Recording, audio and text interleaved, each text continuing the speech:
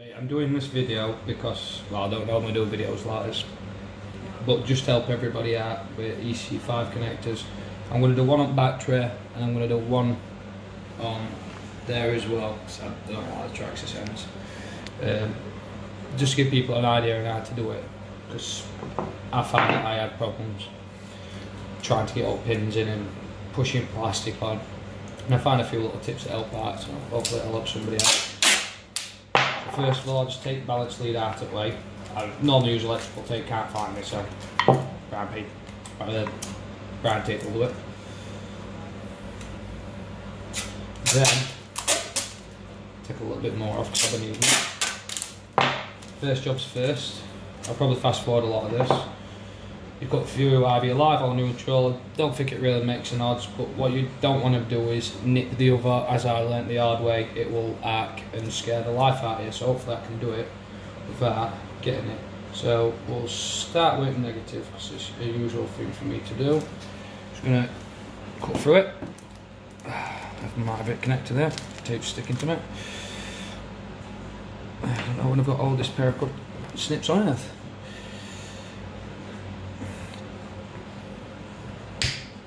That's that bit. There we go. So I've got these ends, that's the end to go in. See it's pretty thick anyway, so what I'm going to do, I'm going to strip it a little bit back. You don't need a great deal stripping back. So I can get that heat shrink off first. There we go, that's that off.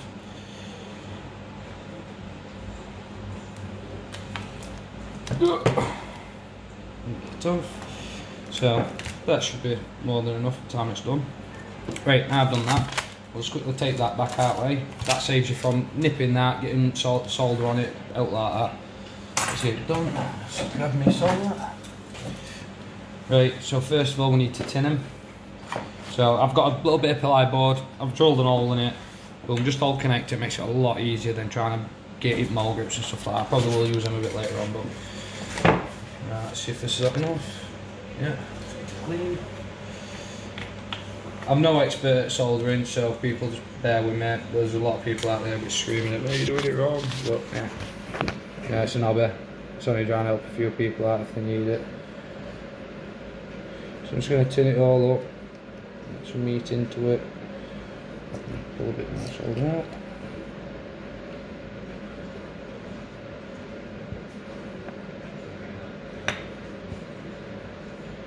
Just let a bit heat go into cable and that should then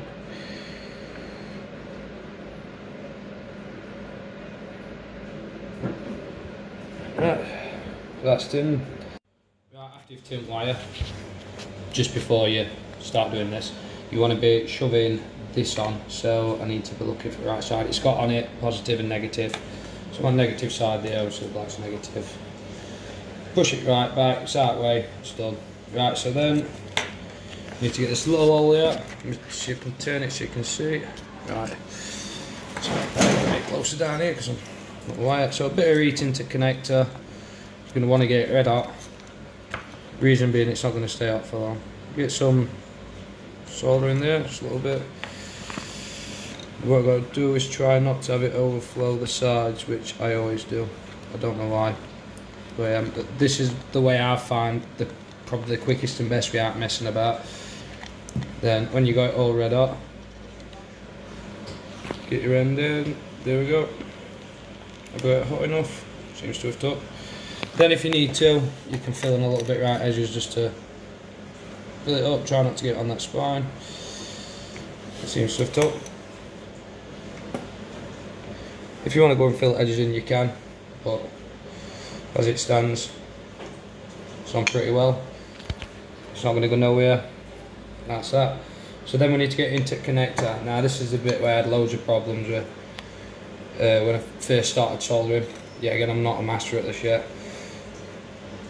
Wait till it cools down. So a ripple there and a ripple in there. So what we need to do is knock that through while it's cool. Right. So right. So yeah, again, we let it cool down. So all that. Uh, we let it cool down so the spines don't melt. I'm going to push connector up as far as we can get it. You push it in and you notice now you've either got to really rag at that wire and pop it in, but you've got a chance of damaging wire and solder and battery. So there's been many ways I've seen people do this. I just use male end, bosh it in, we get it on there, we're going to get something on here just to give a better area to hit. When we get it on, we're going to push down and hopefully with a couple of whacks it should be in. Oh, there we go. Oh, I might have just pushed it through a bit too far. Up there, let's click back in. So that's now clicked in. And that is in. I might have knocked it a little bit too far through, but as you can see, it's got it. Boom, done. And then it's exactly the same on the other side with live. Uh, reason I put connector on before I got live is so you don't touch the wires and arc them out, but it's the exact same procedure on the other side. Right, so now I'm going to change this. This is the one I wanted to get in more than anything because this is the connector that I could not find anything about and how to change. So I'm going to change from that to that. It's as simple as pull that one out pull that out. Beauty about it, because it's in car, it don't matter. You know what I mean? Every time I do this, I'm doing it to minimise uh, the wire loss. So obviously short cables, pressure on them, and cause them to pop off. So all I'm going to do is because these wires are already tinned, save me some a bit of time. Just going to eat it up. Boom. That's that one off.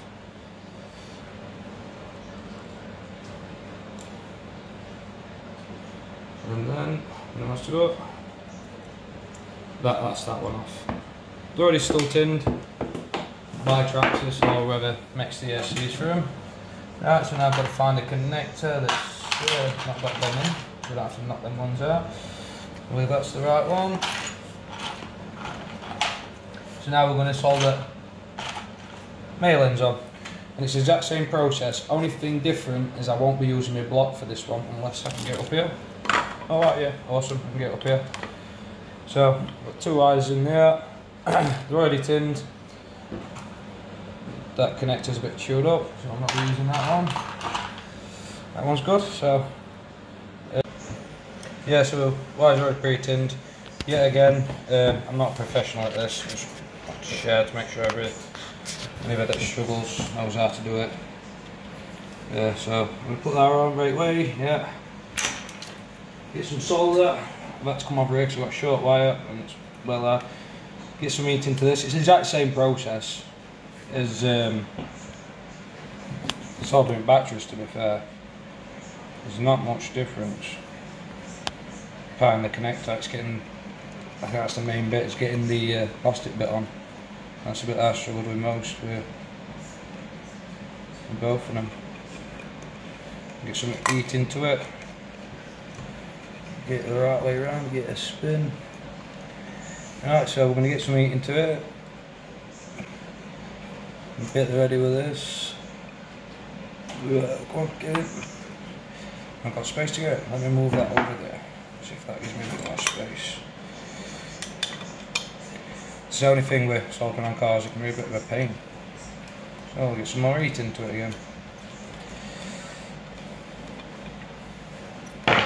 Move that. See if I can do it without pliers. I say I'm, I'm trying to make this look as easy as I can. There we go, that's gone in. Put some heat into it. There we go, that should have got. Let's put that down a sec. So as you can see, it's a nice tight fit. Cable goes right up and into it. It's not a bad thing, you're not losing no connection, solder will get your connection. Now this is the bit that's probably the most important that I had to learn. Spent hours trying to sort it out. Is getting them to go through there. It is a pain. You, there's a lot of videos of pulling them, but your problem with that is you're pretty stressed on wire yet again. You might put wires on the SC. So easiest way I've found is yet again, get an opposite end, you can get it on put on beforehand. An opposite end, how they're meant to be. See how that's sat there like that? Set of mole grips or plumbing pliers. Uh, open them right up. I'd set them plumbing ones are probably better for this because uh, uh, I ain't got a set unfortunately. Uh, then we're going to get wire there, get on back at connector this is hard bit getting it in here, you've got to get some pressure onto it, get it lined up pretty decent. It's not too bad when there's only one wiring. But then we're going to get on. We're just going to get a bit of a squeeze nice and gently. It popped. It has pushed connector through back a bit, but it's not a big deal. So I'll tighten them back up.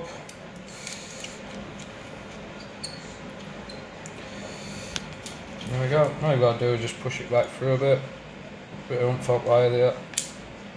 That's it, it's dropped in nicely. It's free, it's moving, how it's meant to be. And all we've got to do is get grips onto this bit. Pull it out, boom, and that's it, it's done. That's a good thing about these connectors, they spin, so it, it gives you play to move about, it's not all stiff. The battery ones aren't there, they're fixed. Uh, another little tip is the split pins there. If you find that you've closed them while you're doing this route, just get a screwdriver and widen them up. Or if you find your battery's coming disconnected a lot while you're out bashing, just uh, like I say, just get a pin or a screwdriver or something in it and get a pop out. But that's your end product, you've got your connectors in. It's on nice and soft, it's not going to pop off. Uh, you can put a bit of heat shrink over it, whatever you want. But then you've gone from that connector to that connector, I'll level them up and you really haven't lost that much cable. And same with that you haven't lost much cable so you've still got flexibility to move it about. Hope it uh, helps some guys out if whoever's using these connectors. Cheers